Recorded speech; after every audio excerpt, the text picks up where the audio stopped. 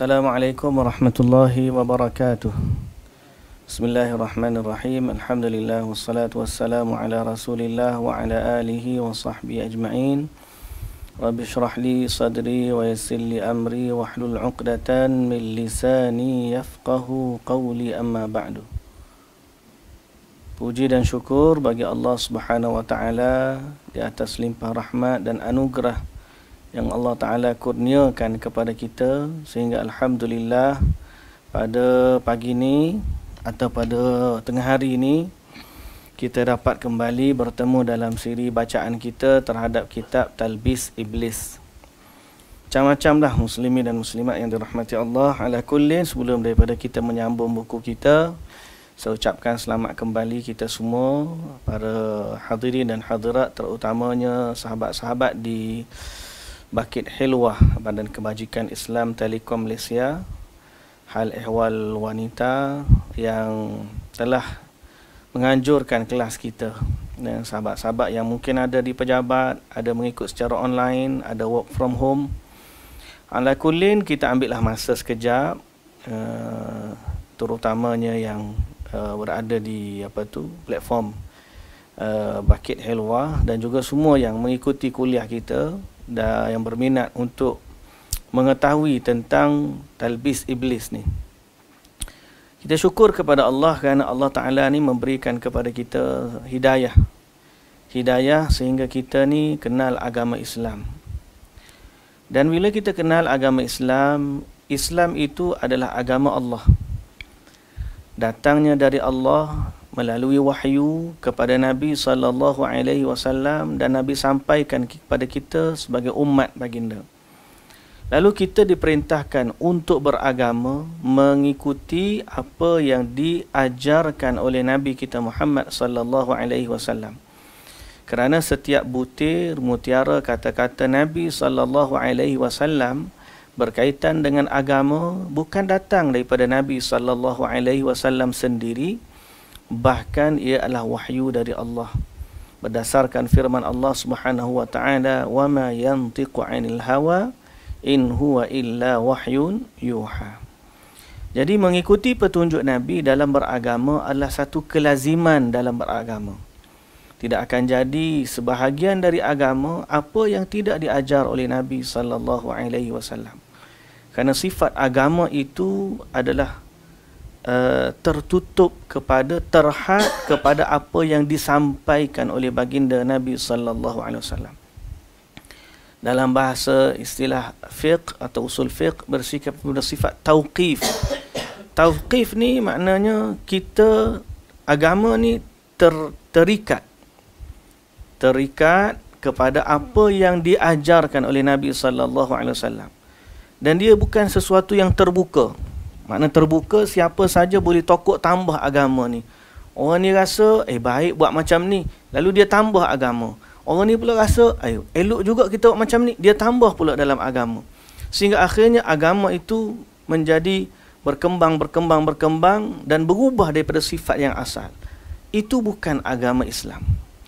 Agama Islam sifatnya tauqifi. Tauqifi ni maknanya dia sudah pun terhad apabila dia sempurna di zaman Nabi sallallahu alaihi wasallam Allah taala turunkan wahyu kepada Nabi sallallahu alaihi wasallam dan Allah taala gazetkan bahawa Islam ini telah pun sempurna.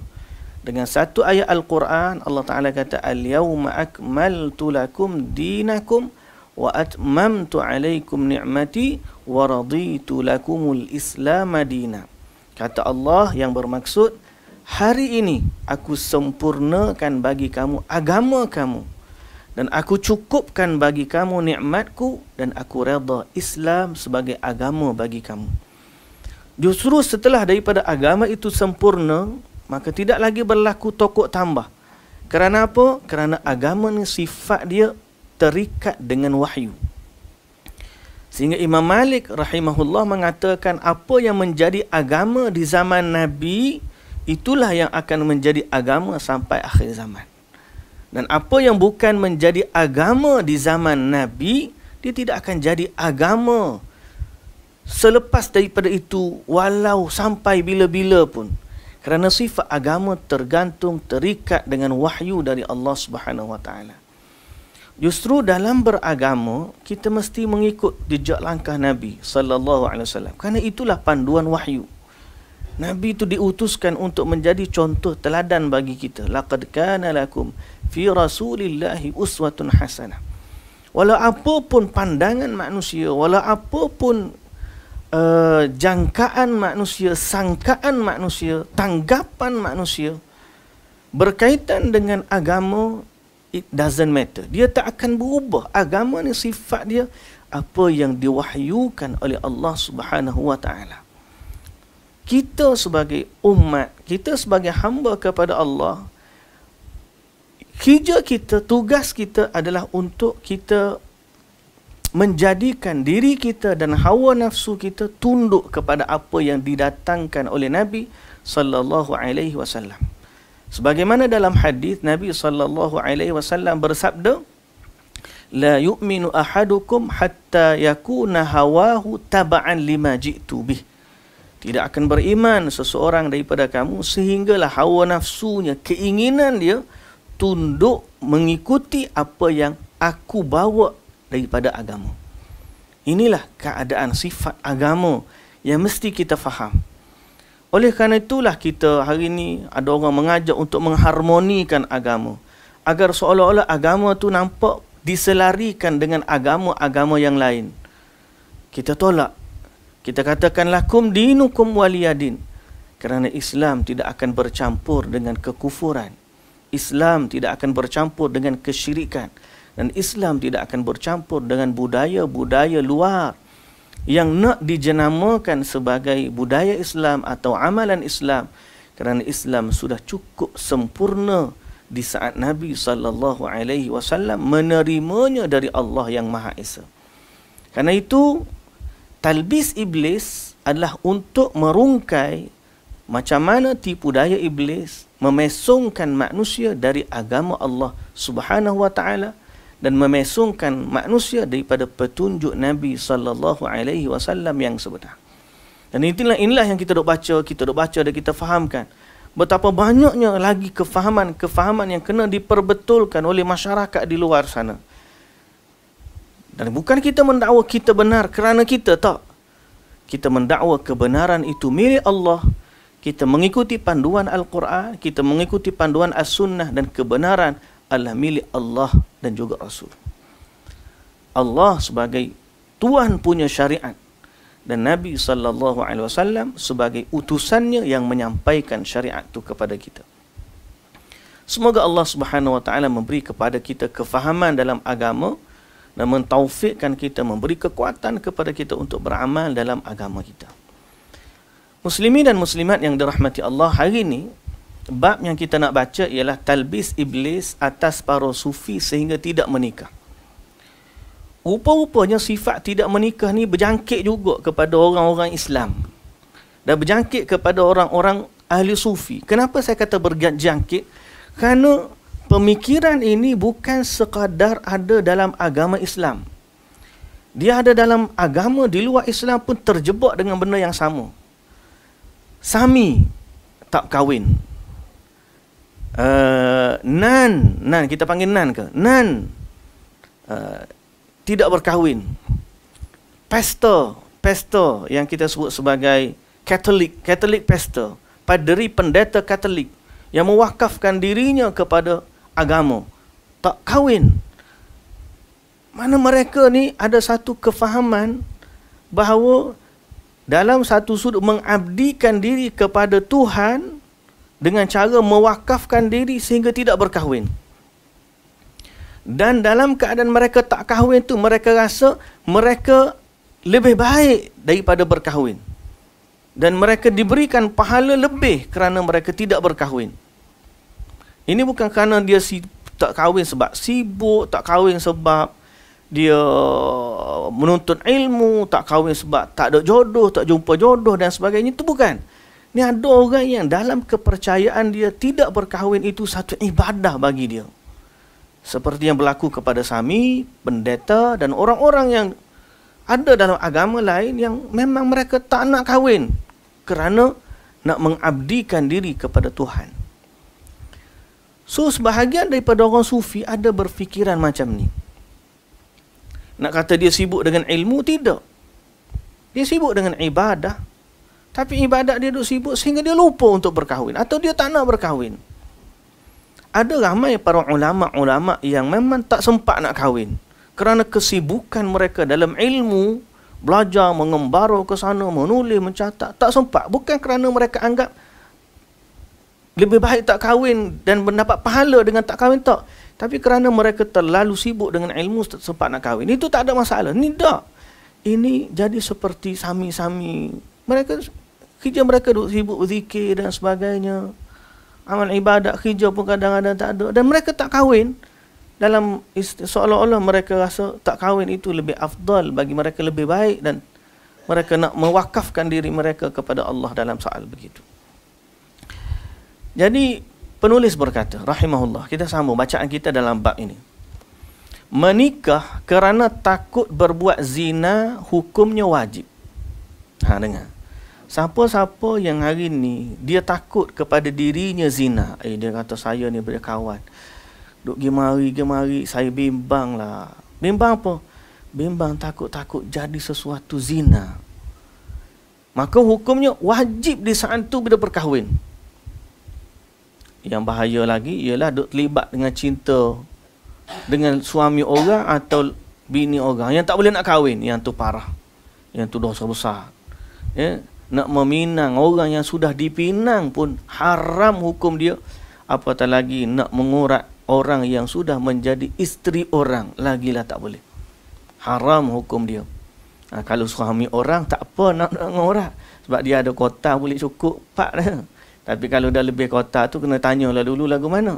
Cuma masalah dia kalau benda tu boleh kahwin, dia takut zina, maka di saat itu hukumnya wajib kahwin. Itu hukum, dia suruh hukum. Tapi saat dia tidak takut berbuat zina, maka dia mana aman daripada zina. Tetap saja hukum kahwin itu sunnah muakkad. Sunnah muakkad hukum berkahwin ni. Maknanya paling-paling lekeh hukum berkahwin ni kalau tak ada apa-apa masalah wa uh, hukum dia sunat muakkad kalau takut berzina barulah hukum dia wajib ha. melainkan kalau dia ada mudarat penyakit semua itu ha, cerita bincang lain eh Sedangkan menurut mazhab Abu Hanifah dan Ahmad bin Hanbal, saat dalam keadaan itu hukum menikah lebih baik daripada seluruh amalan sunat. Maknanya tolak-tolak-tolak amalan wajib Berlambat sunat ni Yang paling tinggi ni Lebih baik daripada amalan sunat Ialah menikah. Kenapa? Kerana hukum menikah ni Merupakan sebab keberadaan Kewujudan anak. Jadi amal soleh kita boleh buat Tapi anak ni Kalau kita ada Dia boleh buat untuk kepada kita. Kita melahirkan zuriat yang beriman kepada Allah dan beramal mengabdikan diri kepada Allah. Dua orang tiga orang sepuluh orang dua puluh orang. Anas bin Malik kalau tak silap saya anak dia ada seratus dua puluh orang. Anas bin Malik. Ya salam. Kita ni berasa ramai dah kita ni. Bunyi anak oh, berapa orang? Enam orang tujuh orang. Eh ramai dah anak dia. Tanya orang tu tiga orang cukup dah setakat tu dia kata kalau tak ada rezeki tu lain cerita. Yang ni ni dia memang tak nak anak ramai. Sedangkan dia lupa hukumnya sangat-sangat mulia di sisi Allah Subhanahu Wa Taala. Apatah lagi pada wanita yang melahirkan. Besar pahala dia besar, sangat besar, sangat besar pahala dia di sisi Allah Subhanahu Wa Taala. Ni ini merupakan ibadat kena rasa satu waktu dia melahirkan dia melahirkan seorang hamba kepada Allah Subhanahu wa taala dan dia nak didik anak itu menjadi orang yang beriman kepada Allah Subhanahu wa taala. Di situlah letaknya kemuliaan. Kerana Nabi sallallahu alaihi wasallam bersabda tazawwajul wadudal walud fa inni mukathirum bikumul umam. Nikahilah wanita yang penyayang dan banyak anak yakni subur tengok dia punya background family anak ramai nikahilah wanita yang seperti itu. Kerana, tapi jangan sebab nak anak saja. Kerana aku membanggakan kalian di hadapan semua umat disebabkan jumlah kalian yang banyak. Mana anak itu lahir kita nak jadikan dia umat Nabi Muhammad sallallahu alaihi wasallam. Jadi kita nak lahirkan orang yang beriman kepada Allah yang mengikuti sunnah Nabi sallallahu alaihi wasallam dan perkahwinan adalah jalan yang menyampaikan kepada maksud itu. Kalau tak kahwin hadis ni tak akan berlaku. Orang tak akan beramai anak kalau tidak ada perkahwinan. Dan bila tak ada anak ramai, Nabi wasallam maksud hadis ni tak ter, ter, tercapai. Maka beruntunglah orang-orang yang menyambut seruan Nabi wasallam dan menjadi kebanggaan Nabi di akhirat nanti. Bayangkan dia bawa kepada Nabi umat. Anas bin Malik bawa 120 orang anak. Cucu apa? Saya kalau kat kampung ayah saya dia suka dia tanya. Ah, di muka dia orang orang orang tua lah kan. Ha, dia, dia, cucu dia ada berapa? 20 lebih ni. Baru ni saya pergi kat kampung tu. Raja tanya saya, cucu dia ada berapa? Dia kata, cicit dia pun berapa? 40 lebih ke berapa? Uf, ramah, terkejut. Bayangkan, kalau itu soalan kita tanya kepada jiran, sahabat handai, kita jumpa dengan Nabi SAW dan Nabi bangga, oh, umat, anak dia ni ramai sebagai umat Nabi SAW. Hadis ni bagi tahu kepada kita, Nabi suruh kahwin. Kerana Nabi bangga bila dia bawa dia anak dia ramai. Kerana akan jadi umat Nabi sallallahu alaihi wasallam tu ramai. Kita populasi kita di bandar-bandar dah jadi kecil-kecil-kecil. Orang bandar pun takut nak kahwin ramai. Pasal takut kos naik duk tinggi dan sebagainya. Hai, kita pun duk fikir punya fikir macam mana. Sedangkan Nabi sallallahu alaihi wasallam suruh kita kahwin. Ramaikan zuriat, ramaikan umat. Ni, ha. Kahwin, kahwin, sunat kahwin.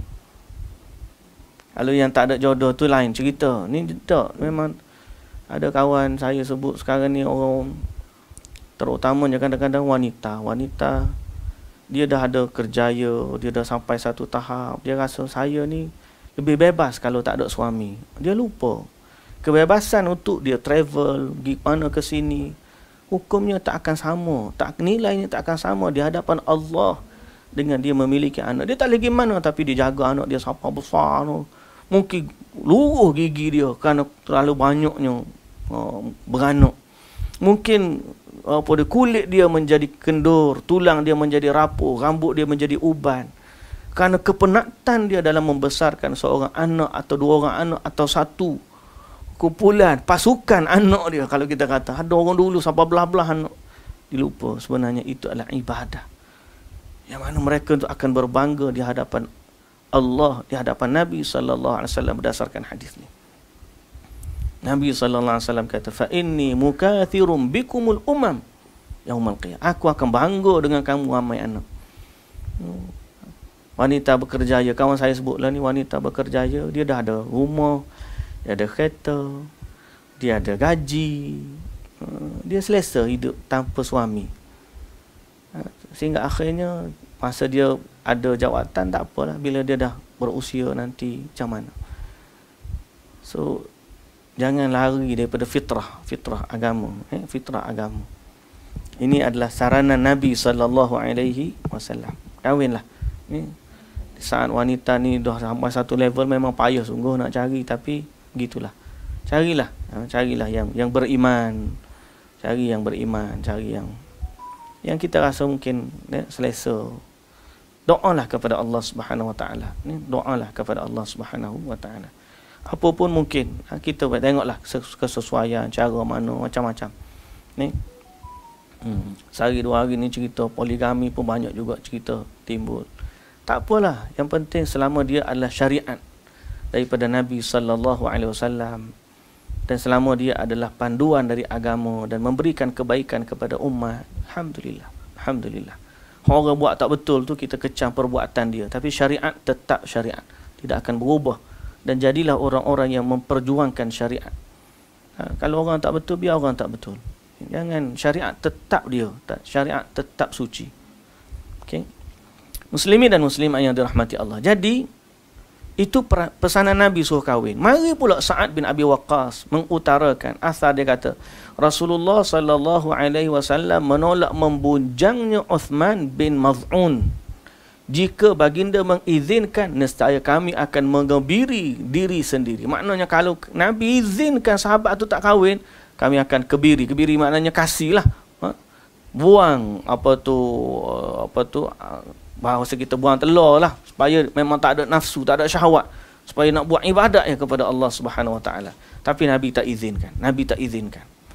Dari Anas bin Malik radhiyallahu anhu sejumlah sahabat Nabi datang bertanya kepada ummahatul mukminin mengenai amalan baginda saat menyendiri. Makna Nabi ni kalau di rumah dia buat apa? Sahabat-sahabat ni tanya begini begini begini. Maka lalu isteri-isteri Nabi sallallahu alaihi wasallam memberitahukan. Isteri Nabi pun jawab bila dia jawab tu, dia jawab seolah-olah kehidupan Nabi ni macam orang biasa. Dan mereka rasa amalan Nabi tu sikit. Dalam riwayat Imam Muslim, ka'annahum taqalauha, mereka rasa amalan Nabi ni sikit. Sehingga dalam bahasa kita, mereka kata bahasa mudah lah. Bahasa kita ni kata, Nabi tak apalah dia Nabi buat sikit pun dia Nabi. Kita yang tidak Nabi ni kena buat lebih daripada Nabi. Ha itu dia punya uh, titik tolak dia punya keazaman. Lalu seorang daripada mereka bertekad dia tak akan makan daging. Ada riwayat sebut macam tu. Ada yang kata dia tidak akan mengahwini wanita. Ada yang kata dia tidak mahu tidur malam. Dan ada yang kata aku tak akan tinggalkan puasa. Setiap hari puasa puasa puasa. Tak nakkan tak ada hari tak puasa. Setiap hari puasa. Mengetahui hal ini Nabi sallallahu alaihi wasallam memuji Allah. Lalu Nabi sallallahu alaihi wasallam bersabda ma balu aqwamin qalu kadha wa kadha. Lakinni usalli wa anam wa asumu wa uftir wa atazawwaju nisa. Faman raghiba an sunnati falaysa minni Kata Nabi SAW bila dengar keazaman orang yang tak nak kahwin, tak nak tidur, tak nak buka puasa. Kata Nabi SAW, ada apa dengan kaum yang bertekad ini dan itu? Yang benar, aku biasa melaksanakan salat tapi aku juga tidur. Aku biasa berpuasa dan aku juga berbuka. Yang ada hari aku puasa, ada hari aku berbuka. Bahkan aku menikahi wanita, mengahwini wanita. Sesiapa yang membenci sunnahku, dia tidak termasuk golonganku. Jadi Nabi SAW, ini sunnahnya. Kalau ada orang sufi, dia rasa dia tak nak kahwin sebab ini adalah ibadat bagi dia, maka jawapan dia, dia sedang menyelisihi sunnah Nabi. Dan dia sedang mengikuti sunnah padri-padri dan sami-sami. Kalau dia mampu kahwin, kahwinlah. Eh, bak mampu ni satu hal dia kata ustaz suka. Suka sangat duk suruh orang duk kahwin-kahwin. Lah ni orang tak mampu ustaz. Ah dia kata gitu pula. Orang lelaki tak mampu dia ni kerja tak ada kerja tetap lagi ustaz. Rumah pun masih menyewa lagi ustaz. Kereta pun masih kereta apa tak ada kereta motor je ustaz. Contoh contoh contoh. Nak makan sendiri pun Allah Akbar. Mujur cukup ya Ustaz. Contoh. Tuan-tuan yang dirahmati Allah Kita memanglah kita tengok macam tu. Kalau dia sudut lihat kemampuan ya, Baru ni ada satu video tentang bab poligami sebenarnya. Saya tengah cerita bab tu. Orang perempuan ni kan kalau cerita bab poligami tak mampu, tak mampu, tak ada. Kalau tanya dia semua tak mampu. Kalau hak memang hak pengaruh bukan pengaruh. Orang kaya je tahu ah. Bukan kadang dia kata tak mampu suami dia ni. Soal dia uh, kemampuan yang kita kata tu apakah itu kemampuan dalam syariat? Kita kata tak tak cukup makan tak cukup baju tak tak banyak benda tak cukup. Eh kalaulah itu keadaan yang kita faham Nabi SAW dalam hadis Aisyah kata rumah Nabi ni pernah tiga bulan tak berasap. Tiga bulan rumah Nabi tak berasap. Kita nak kata Nabi SAW tak mampu. Sahabat Abu Bakar, Umar radhiyallahu anhu keluar daripada rumah. Cari makan di tengah hari ni, lapar ni. Ikat perut. Abu Hurairah radhiyallahu anhu ikat batu. Kan perut dia keluar cari makan. Jumpa Abu Bakar jumpa Umar. Sekali sekali jumpa Rasulullah sallallahu alaihi wasallam. Kelaparan. Apakah itu kita nak kata sahabat-sahabat tak mampu? Tak. Kerana mereka mengikuti sunnah. Mereka nak menghidupkan syiar. Allahu akbar. Eh dah lah lelaki dah tak cukup ramai. Kena pula hak jadi. Hak lembut ni, aduh. Hak lembut ni sudahlah. Payahlah kita. Ni. Faman raghiba an sunnati falaysa minni. Nabi kata siapa yang tidak suka kepada sunnahku dia bukan golongan aku. Imam Ahmad bin Hanbal menyatakan membujang bukan merupakan ajaran Islam. Okay. Bukan merupakan ajaran Islam. Nabi SAW menikahi 14 wanita dan baginda wafat meninggalkan 6, eh, 9 orang isteri. Waktu Nabi wafat, Nabi ada 9 isteri dan total Nabi berkahwin dengan 14 orang wanita. Pada kesempatan lainnya, Imam Ahmad rahimahullah berkata, Andai semua orang tidak menikah, kalau semua orang pakak tak nikah, nescaya mereka tidak akan berperang. Nak perang mana? Tak ada tentera nescaya mereka tidak akan berhaji. Serta tidak beramal ini dan itu. Rasulullah sallallahu alaihi wasallam sering melalui hari tanpa mempunyai apa pun. Nabi ni Allah kadang-kadang tak cukup tak ada makanan. Namun demikian beliau memilih lagi mendorong untuk menikah alih-alih membujang. Siapa yang benci terhadap perbuatan beliau ini yakni baginda dia tidak berada di atas kebenaran tak boleh kahwin lain cerita. Ni tak nak kahwin. Ada kemampuan dan sebagainya. Dia kata aku tak nak sakit kepala nak kahwin apa ini. Itu sunnah. Sunnah. Dan sabar dalam sebuah perkahwinan adalah ibadah memanglah. Memang. Bila dah kahwin macam-macam lah ujian dia. Ha, tapi di sebalik ujian tu lah pahalanya berganda. Kata Nabi SAW bagi para wanita idza sallatil mar'atu khamsaha وصامت شهرها وحصنت فرجها وأطاعت بعلها قيل لها ادخلي من باب من أي باب الجنة شئت أو كما قال النبي صلى الله عليه وسلم Jika wanita ni dia salat lima waktu, dia puasa sebulan, dia jaga kemaluan dia yang ni tidak berzina, kemudian dia taat pada suami dia. Dia taat pada suami dia, dikatakan pada hari akhirat, masuklah kepada dalam syurga melalui mana-mana pintu yang kamu kehendaki. Besar fadilat tu Besar fadilat tu Okay ha. Bagi siapa yang mampu dah ha. Kalau tak mampu tu nak buat macam mana Doalah kepada Allah Saya doakan agar Sesiapa yang masih lagi bujang Di kalangan kita yang mendengar ni ha.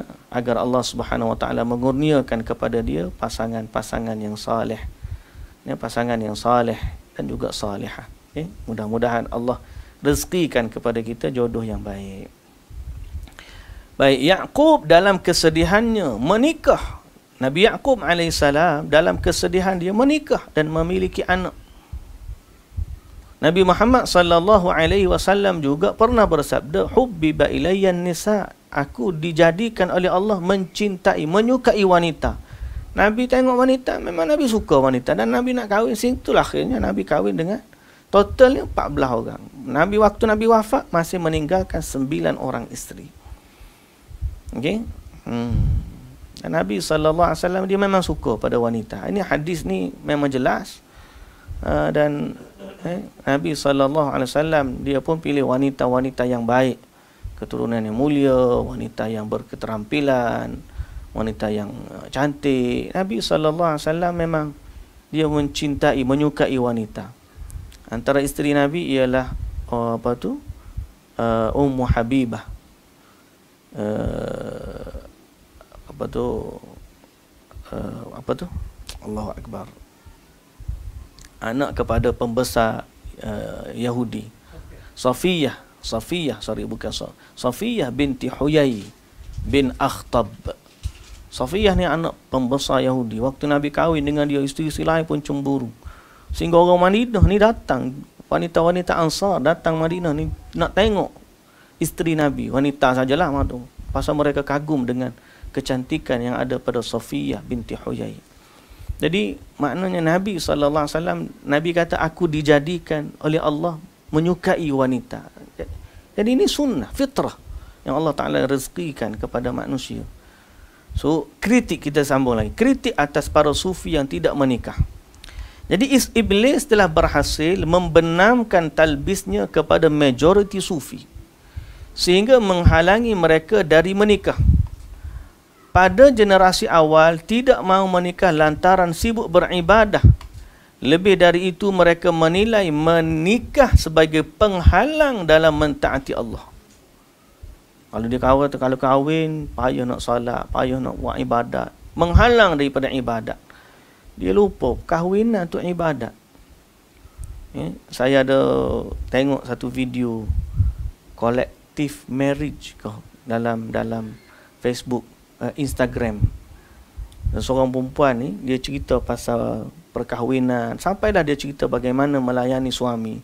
Tapi dia tak cerita detail dalam tempat tidur dia cuma konsepnya. Bila dia kata dia cerita tu dia kata saya tak malu sebab sebagaimana saya cerita tentang salat, saya cerita tentang puasa, saya cerita tentang macam mana seorang isteri sepatutnya mendatangi suaminya kerana pada wanita ini adalah ibadah. So dia kata dia melihat perkahwinan adalah ibadah dan dia mencari pahala dengan perkahwinannya. Saya bila dengar Masya Allah. Wanita-wanita yang beriman sepatutnya mereka memahami maksud ini. Saya kadang-kadang suka juga tengok Ustaz apa tu Syamsul debat buat lawak. Dia cerita banyak cerita perkahwinan lah.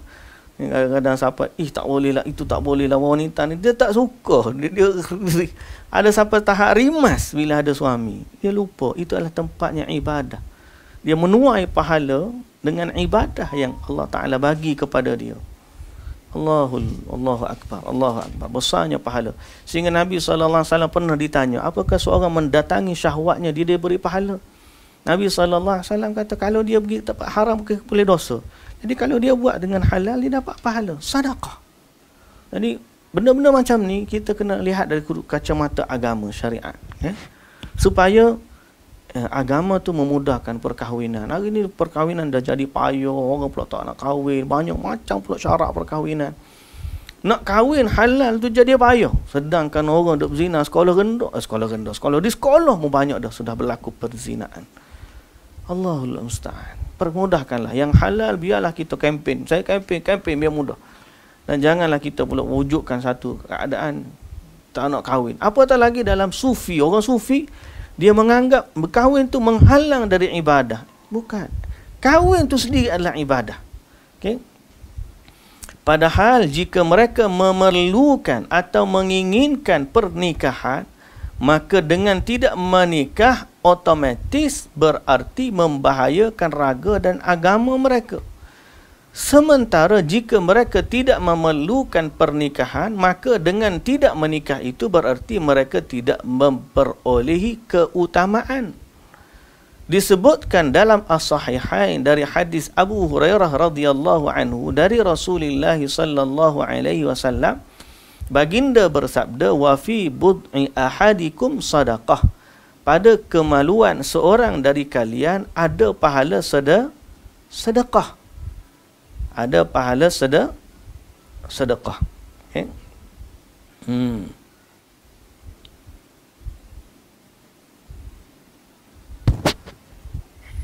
Baik. Jadi kalau orang tu kata dalam bab ni penilaian ini muncul yakni kan kata kalau kahwin ni menghalang ibadat jadi penilaian macam ni muncul kerana tipu daya iblis sebab sebaik-baik manusia iaitu para nabi dan para sahabat mereka menikah. Namun hal itu tidak menjauhkan mereka dari fokus untuk ibadah. Bahkan boleh jadi lebih khusyuk dalam ibadah. Sebab gelojok jiwa dia dah tak ada. Dia kalau dia duduk main, duduk fikir-fikir. Bila dia kahwin, hati dia, nafsu dia dah tenang, tunduk. Sehingga akhirnya mungkin lebih baik khusyuk dia. Ada orang lebih pas kahwin, lebih belajar dia lebih perform dan sebagainya. Pasal apa? Keinginan diri dia sudah tenang. Hmm, baik. Para sahabat lantas bertanya, apa mungkin saat salah seorang dari kami melampiaskan syahwatnya dia akan mendapat pahala kerana hal ini? Maka Nabi sallallahu alaihi wasallam menjawab, "Ara'aitum law wada'aha fi haramin akana alaihi wizrun?" Maksud dia menurut kalian, bagaimana apabila dia melampiaskan syahwatnya di tempat yang haram? bukankah dia berdosa? Mereka jawab tentu sahaja. Lalu Nabi sallallahu alaihi wasallam bersabda, "Wa kadzalika idza wada'aha fil halal kana lahu ajrun. Seperti itu juga jika dia melampiaskannya secara halal dia mendapat paha pahala. Kemudian baginda bersabda afatah tasibuna syarra wala tahtasibuna al-khaira bagaimana mungkin kalian memperhitungkan keburukan namun kalian kalian tidak memperhitungkan kebaikan Eh, kita kadang-kadang kita duk tengok je benda benda buruk takut nak buat. Eh, tengok pada benda baik ni. Banyak benda yang baik ni kita boleh buat. Jadi kita buat benda baik ni. Jangan duk takut tengok benda buruk je. Eh, benda baik banyak peluang. Pergilah buat benda kebaikan ni. Ni buat kebaikan. Kahwin salah satu. Kahwin. Eh, ha. kalau orang muda-muda tak nak kahwin bantu je. Kata Ustaz saya tak ada duit nak mas kahwin. Bantu. Eh, nak nak kenduri sikit-sikit lah. Jangan sampai pekat nak puluh-puluh ribu. Buat buat hak. Hak orang panggil buat wajib je dulu. Hak buat wajib. Jangan itu. Eh, saya dah bimbang tengok kepada keadaan. Mudah-mudah lah ni kan mudah. Eh, zina ni lalu mudah. Zaman kita ni Allah Akbar. Terlalu mudah. Benda yang terlalu mudah. Jadi bila mudah dapat secara haram dia jadi payah untuk dapat yang halal. Jadi bila payah daripada halal orang tak berapa itu Sampai satu tahap lah ni kalau tengok di UK atau di, di Eropah. Orang barat, dia tak suka kahwin. Dia suka berpartner. Ni boyfriend, boyfriend, tunang, fi, fi, apa dia panggil fiancé ke dia panggil. Fiancé. Ni, ni tunang lah begini. Dia tak kahwin. Pasal kahwin tu kalau kahwin tu komitmen kalau cerai kena bayar. Allah Akbar. Nak kahwin pula lebih tak boleh. Satu je. Bila dah tak boleh satu, hal lain ada main. Ni teman dia, kawan dia, partner dia. Macam-macam. Rosok rosak. Dia punya sistem sistem keluarga mereka tu rosak. Sedangkan Islam datang ni memuliakan memuliakan wanita untuk dikahwini ya. Muslimin dan muslimat yang dirahmati Allah. Jadi sebahagian pada kaum sufi berdalih nikah mewajibkan kita untuk memberi nafkah sementara pekerja itu sulit. Ha, dia kata salah pula dan kalau kita naik nikah, kita tak boleh bagi nafkah, nafkah kita tak ada kerja. Dosa pula kita tak bagi nafkah. Ha, sulit nak kena kena cari kerja pula untuk bagi nafkah.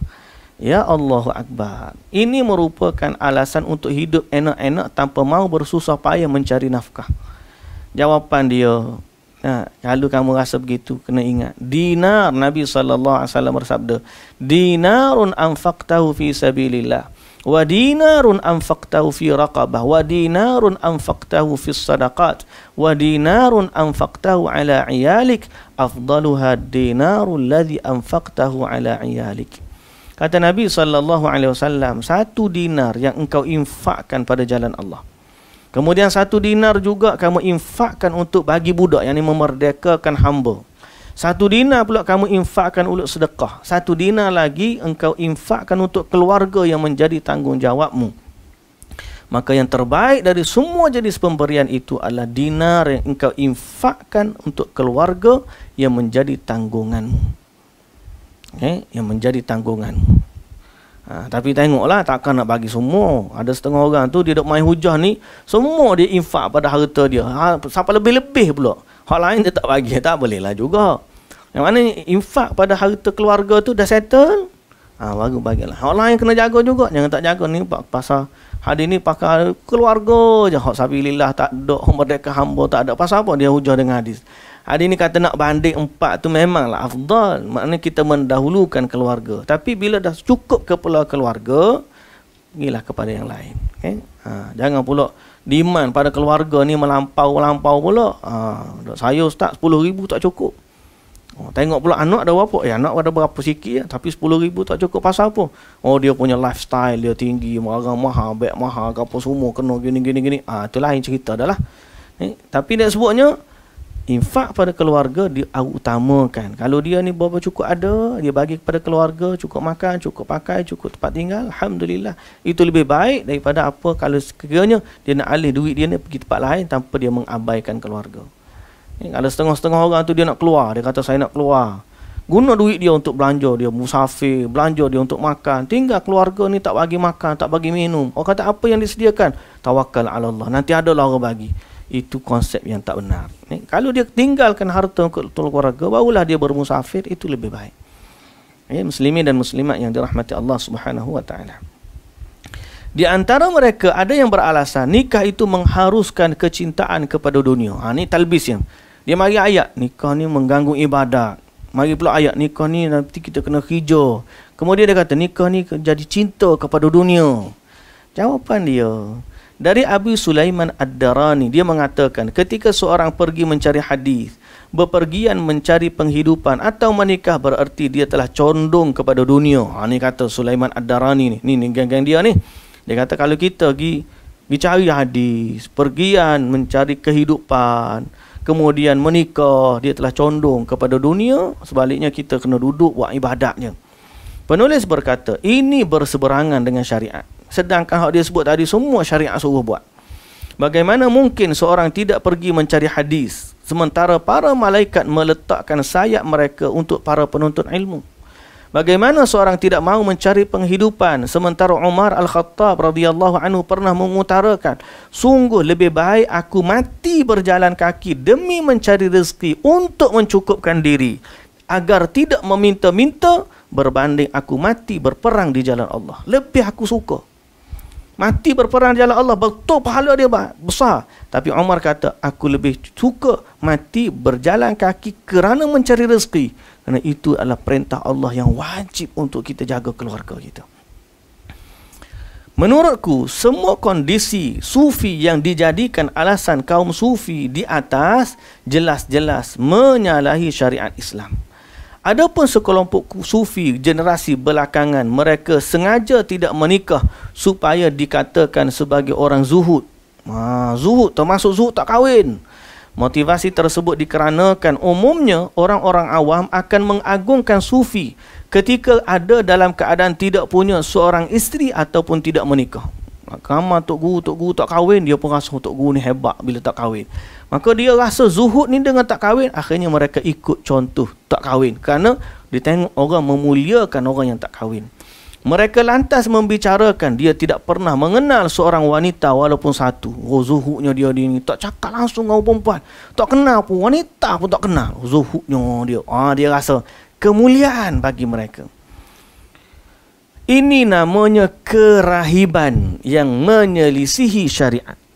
Abu Hamid Al-Ghazali menyatakan, seorang murid atau penganut sufi pemula sudah seharusnya tidak disibukkan dengan urusan pernikahan kerana nikah menghalanginya dari suluk sekaligus membuatnya senang saat bersama isteri. Sedang siapa yang senang kepada selain Allah berarti dia telah melalaikannya, kata Al-Ghazali. Ibnul Jauzi kata, aku heran dengan pernyataan ini. Apakah dia tak tahu bahawa pada saat seorang hamba berniat memelihara kehormatan diri, dia niat untuk dapat anak, dia niat untuk jaga kehormatan wanita, maka semua keinginan ini menyimpang, tidak menyimpang dari suluk. Ajaib. Eh, orang buat ni. Kalau suluk tu nak cari siapa? Suluk tu kerana Allah. Orang ni, dia mencari Tuhan dalam ibadat pernikahan. Kawan ni duduk sujud. Kawan ni sedang bersuami atau beristeri. Kawan ni sedang berperang. Hak ni wanita sedang melahirkan, sedang berjuang di atas orang panggil dalam bilik labor room. Tumpah darahnya, hampir putus nyawanya. Apakah ini tidak dinilai ibadah di sisi Allah Subhanahu Wa Taala? Dia sedang melahirkan anak kerana dia sedang apa panggil uh, mematuhi perintah Allah. Dia mencari pahala. Okay? Atau apakah dia menilai bahawa merasa senang saat berada dekat dengan isteri akan dapat menafikan senangnya hati dikala menjalankan ketaatan kepada Allah. Padahal Allah melimpahkan kurnia kepada manusia melalui firman-Nya wa min ayatihi an khalaqalakum min anfusikum azwajan litaskunu ilaiha wa ja'ala bainakum mawaddatan wa rahmah. Di antara tanda-tanda kebesarannya ialah dia menciptakan pasangan-pasangan untukmu dari jenismu sendiri agar kamu cenderung dan merasa tenteram kepadanya dan dia menjadikan di antaramu rasa kasih dan juga sayang. Disebutkan dalam hadis sahih dari Jabir bin Abdullah radhiyallahu anhu dari Nabi sallallahu alaihi wasallam berkata kepadanya, "Hal la tazawwajta bikran tula'ibuha wa tula'ibuka?" Mengapa kamu tidak menikahi anak dara yakni perawan sehingga kamu dapat bermanja dengannya dan dia juga dapat memanjakan kamu. Ini adalah perintah Nabi. Bila agama ni ada perintah dia jadi syariat. Syariat tu adalah ibadat yang kita kita kita buat dapat pahala. Jadi Nabi SAW suruh bermanja-manja dengan isteri, maka ini adalah ibadat. Bermanja-manja dengan isteri ini adalah ibadat. Dan isteri bermanja dengan suami juga ibadat. Eh, ha, tapi Kena pandai-pandai lah buat cara tiba-tiba mari boleh buang terbiak pula dia. Pandai-pandai lah cara masing-masing lah. Waktu kita tak boleh nak ajar. Konsep tu ada. Konsep tu bermanja-manja. Cara mana nak bermanja-manja tu kena pandai lah kita. Ha, sama-sama kita tahulah cara masing-masing. Nah, hak pandai, hak cara setiap orang tu dia ada. Ya? Ha, panggil cara dia masing-masing. Hak tu terpulang. Yang penting konsepnya bermanja-manja dengan suami atau isteri termasuk ibadah. Rasulullah sallallahu alaihi wasallam tentu tidak menunjukkan Jabir kepada sesuatu yang memutuskan kesenangan bersama Allah. Dan Rasulullah sallallahu alaihi wasallam biasa bercengkerama dengan isteri-isteri baginda. Bahkan baginda berlumba lari dengan Aisyah radhiyallahu anha Maka jawapan dia, kalau Nabi buat benda ni, apakah semua ini membuat Nabi itu menyimpang dari kesenangan bersama dengan Allah Subhanahu Wa Taala? Takkan kita nak kata Nabi macam tu? Jadi tidak lain dan tidak bukan alasan orang-orang tadi yang kita sebut tadi merupakan kebodohan atau kejahilan dalam agama. Ingat, benchmark kita dalam agama Nabi sallallahu alaihi wasallam. Kalau dia kata tak kahwin tu bagus, Nabi kahwin. Kalau dia kata menyibukkan dengan uh, menyibukkan diri dengan isteri melalaikan dari Allah, Nabi pun sibuk dengan isteri. Kalau kata sibuk cari rezeki dari Umar radhiyallahu anhu kan memang Nabi sallallahu alaihi wasallam pun suruh kita cari rezeki. Ha, dan jadi maknanya benchmark kita dalam agama ni Nabi sallallahu alaihi wasallam. Inilah penting untuk kita tak tertipu dengan talbis iblis. Jadi saya rasa itulah yang dapat kita sebut pada bab ni. Ada tak kesan negatif daripada sifat tidak mahu berkahwin? Jawapan ada. Ada. Okay. Uh, yang ada ni kesan negatif dari sikap tidak mahu menikah. Uh, nikah ni satu keperluan. Dia bukan sunnah saja, dia satu keperluan. Ada kesan bila seorang tu dengan sengaja tak nak kahwin. Dia ada kesan pada diri dia. Jadi kalau dia sengaja nak cari, kalau dia tak jumpa tu lain cerita. Dia berpuasa, dia begini, begini, begini. Kan tak jumpa nak macam mana? Tapi kalau dia menahan diri dengan sengaja dia tak nak kahwin kerana menilai itu adalah cara untuk mendekatkan diri kepada Allah, maka ini nama dia talbis iblis.